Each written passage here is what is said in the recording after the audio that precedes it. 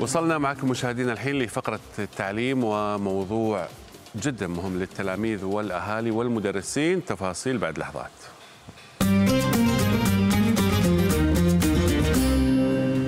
كثير من الآباء مشاهدينا آه، يحتارون متى يعلمون أطفالهم لغة أجنبية. وفي أي عمر وكيف تكون الطريقة الصح لتعليمهم آه هذه اللغة. طبعا حسب الخ- الخبراء اللغة الأم يتعلمها الطفل تلقائيا من محيطه وممكن أيضا يتعلم معها أكثر من لغة أجنبية من عمر صغير. يعني قبل ما يدخل الحضانة لأنه في هذا العمر حيكون عنده استعداد كبير إنه يكون تركيزه بيكون أكبر على الكلمات اللي بيسمعها.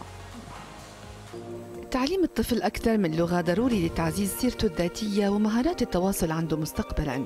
وحتى يتقن الطفل اللغة الجديدة لازم يسمعها من عمر صغير حتى قبل ذهابه للحضانة لأنه بهذه المرحلة يكون عنده قدرة أكبر على الحفظ والتركيز على الكلمات. وكمان إذا كان الأهل يتقنون اللغة الأجنبية فمن الأفضل التحدث بها مع الطفل بشكل متكرر شي اللي يخليه يكتسبها تلقائيا. لأنه حسب الخبراء الطفل يكتسب حصيلة لغوية كبيرة من خلال حاسة السمع. ويفضل كمان استخدام أغاني الأطفال وأفلام الكرتون اللي تعلم الكثير من المفردات. وكل ما كبر الطفل زاد رصيده اللغوي لأنه رح يكون قادر أنه يقرأ كتب الأطفال ويتعلم منها أساسيات اللغة وقواعدها. خلينا نرحب معانا آه، بخبيرتنا آه، رولا آه، قرنوح رئيس قسم اللغة الإنجليزية وأهلا وسهلا فيك. يسعد صباحك. يا هلا فيكي صباح الخير يا هلا يا هلا صباح الورد. طبعا إحنا كلنا كأهالي يعني نحب إنه أولادنا يتكلموا لغتين ثلاثة يعني على قد على قد ما يقدروا. لكن خلينا أول شيء نبدأ من أي عمر آه لازم نعلم ال- الصغير أو الطفل اللغة؟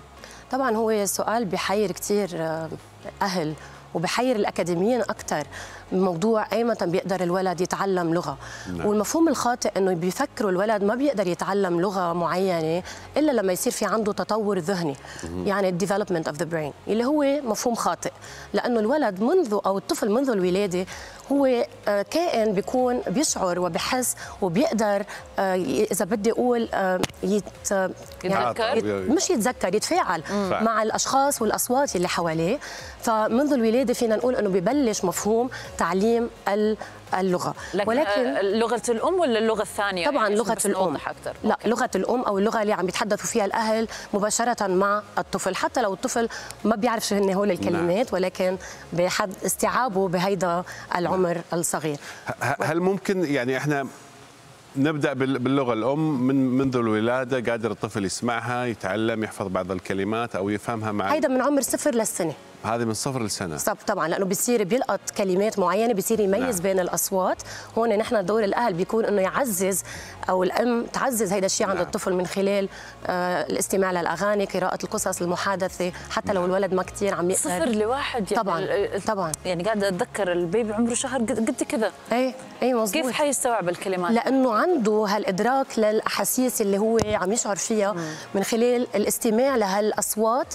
كل الوقت يعني بده يكون في هون مثابرة من الأهل وتعزيز لهيدا الشيء وكل ما سمع أكثر أصوات كل ما بيقدر يميز بيناتهم طبعا بعمر الأكبر لما بيصير عمره ثلاثة لخمس سنين صار عم يتعرض للغة اكاديميا. أكثر من بس بالمنزل. فهون الولد صار عنده مفردات أكثر فيني أقول يمكن الجمل صارت آه، أكثر تعقيدا نعم. وبصير في هون تعليم لقواعد اللغة هل نقدر نتكلم مع الطفل أكثر من من, من لغة لغتين ثلاث وهو ط- طفل طبعا فيك تتكلم مع الطفل أكثر من لغة ونحن بنسميها بالثنائية اللغة أو البايلينغواليزم أو تعدد اللغات مالتي نعم. ولكن الأهم من هيدا الشيء إنه نعرف ال- الولد اللي بيقدر يتكلم عدة لغات هو ولد عنده قدرة على إنه يكون منفتح على الآخرين عنده آه، قدرة إنه يكون مبدع وهو ولد بيتقبل الآخر أكثر لأنه بيقدر يعمل انتجريشن لأشخاص من بيئة ثانية وبيتكلموا لغات ثانية هيدا الشيء نحن بننميه عند الولد من الصغر. يعني آه. نحن بنقول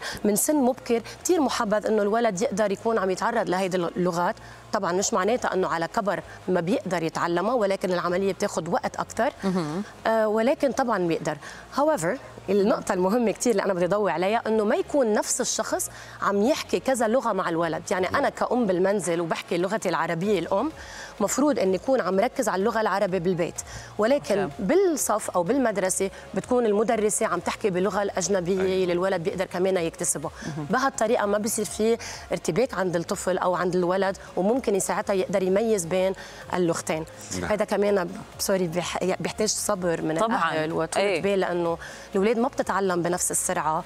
مهم إنه يكون في أهداف كثير واضحة نقدر صحيح. نوصل للنتيجة اللي بدنا هل في أدوات أو أساليب نقدر يعني عشان نسهل كمان على الأهل إنه يعلموا أولادهم لغة ثانية أو ثالثة، هل في أدوات أساليب معينة؟ طبعا أول شيء مثل ما قلت قبل أنا إنه السن المبكر هو شيء كثير مهم. نبلش عن عمر كثير مبكر عند الولد. ثاني شيء يعني قولي عدى هذه المرحلة خلاص. نقدر نأمن البيئة المحيطة بالولد تكون مهيئة لهالولد يقدر يكتسب هيدي اللغة. بمعنى أنه أنا هيدي البيئة بقدر أعمل فيها نشاطات لغوية بقدر أعمل محادثة مع الولد بقدر بيقدر الولد يندمج مع غير أطفال من عمره تيقدر يتحدث بهيدي اللغة وينميها أكثر ولكن أنا إذا بدي أعزز هيدي اللغة عند الولد بدي ركز على المخزون اللغوي عنده. وهذا أكثر شيء بيجي من خلال القراءة والمحادثة. أي كنت حقول لك القراءة لأنه في كثير ناس كمان تعتمد على مثلا الأفلام أفلام الكرتون طبعاً. آه، تساعد هذه تعتبر ولا لا؟ بتساعد كثير مش شوي ولكن ال- في مفهوم كمان أنا ما كثير بحبذه لح... لأنه في أساليب كثير تقنيات حديثة بيعتمدوا عليها الأهل والمدارس اللي هي ابلكيشن نعم. الولد بيروح على البيت وبينبسط أكثر إنه يلعب على ال applications أو ال gaming اللي هي بتعطيه comfort أكثر وبتسليه أكثر واللي نحن مش ضده ابدا إنه يكون learning through fun which is okay. However المشكلة إنه بيصير الولد عنده كسل من ناحية استخدام الورقة والقلم. فنحن خاصة بموضوع الكتابة هالولد إذا عندي أنا auto corrector بستعمل ال applications بتعليم اللغات ما بيعود بيعرف يصحح الأخطاء اللغوية اللي بيعملها.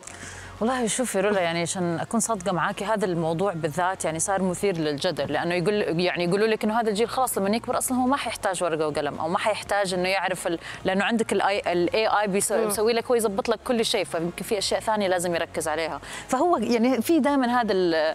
هو الدمج بين عارف الاثنين. كيف نعم. المباراة مو مباراة بس هذا الجدل اللي اللي هل لازم ولا مو لازم؟ بس هو هو أكيد لازم, لازم, إنه ندمج بين الاثنين. يعني ما ينسى الولد ال- الطريقة التقليدية اللي هي الورقة والقلم لأنه كثير مهم إنه نحن نعرف نكتب اسمنا ونكتب بلغتنا الأم حتى اللغة الأجنبية اللي عم نتعلمها. وكمان نحن ما فينا نطلع كثير من التكنولوجيا والتطور العلمي هلأ.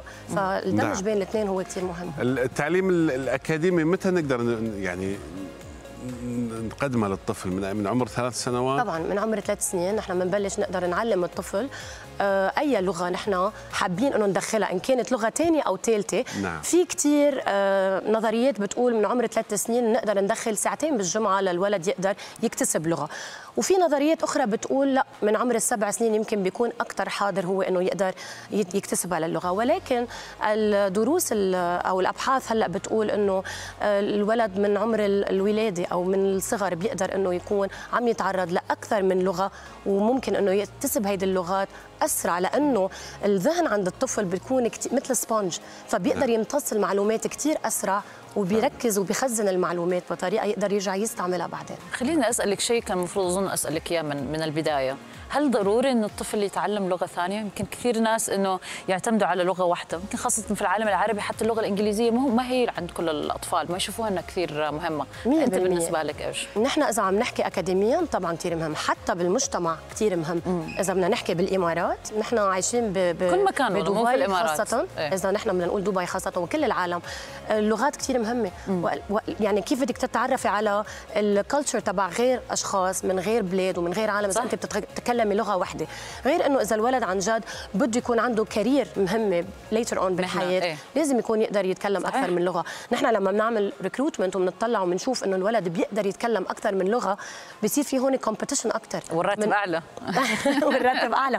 فدائما بنختار الشخص اللي ممكن يقدر يتكلم بأكثر من لغة. أيوه فعلا. و- خاصة اللغة الإنجليزية لأنها لغة عالمية يعني بالضبط. العالم كله. إيه. وإحنا نقول إنه هذه اللغة المفروض يعني يفترض إنها ما تطغى على لغة الطفل الأم. صح.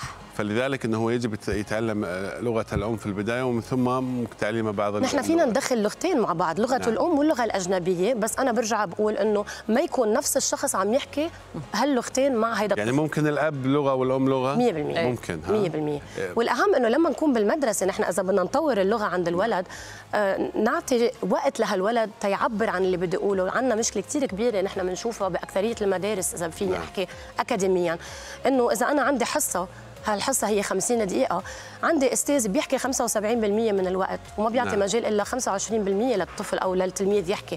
إذا أنا عندي 20 تلميذ بالصف قد إيه عم بعطيهم وقت إنه يحكوا؟ صحيح. فإذا فينا نحن نخفف كأساتذة من الوقت المحد محدد والمستمعين أكثر من ما إحنا متحدثين. صح نكون مستمعين بشغف. هيدا كثير مهم. والله الله يسمع منك صراحة بشغف لولا يعني من. جد يا ريت في كثير أساتذة زيك لأنه آه، يعني صار الموضوع يعني أوقات في حصص وفي لغات إنه الموضوع تسميع. يعني حتى في. مثلا آه، يعني مثلا أنا بنتي دحين بتدرس إسباني بس الموضوع إنه بس احفظ الكلمات ما في هذا النقاش اللي أنت بتقوليه. فيعني يا دوب بس تخلص السمستر حتقولي أنا ما أبغى أتكلم هذه اللغة ابدا ثاني يعني ليش صح. نعم، خاصة إذا مو مضطر فلازم هو أسلوب كثير مهم إنه نحن نعطي وقت للولد ونفرجيه بتعابير وجوهنا أو بتعابير الجسدي انه نحن كثير مهتمين باللي هالطفل نعم. عم بيقوله و... حتى لو عدى سبع سنوات ن- إلين تسعة عشرة ممكن ولا كل ما زاد؟ ممكن. ما في شيء اسمه وقت متأخر أي. نعم. It's ممكن. never too late حتى إحنا هاني ممكن نبدأ لغة جديدة لا لا, طبعاً. لا بالعكس بالعكس والله. أنا والله أفكر أحيانا بلغات جديدة أنا أنا تفتكر قبل سنتين بدأت شوية صيني اي بعدين وين وصلت ليش؟ يعني على هلو باي بعدين بطلت تذكرين هلو هاي باي؟ بدايه آه جيده نيهاو نيهاو زيت سين يعني فيك يعني فضلت معاي الكلمات بس إنه خلاص وقفت عليها. والله نتمنى تستمرين ليش؟ إي والله. رولا شكرا. جزيلا. شكرا. شكرا لك. يعطيك ألف عافية. الله يعافيك. آه وإن شاء. الله